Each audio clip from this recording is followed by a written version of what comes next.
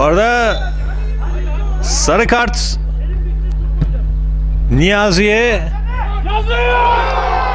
Yine mi gol? Yine aynı gol sanırım.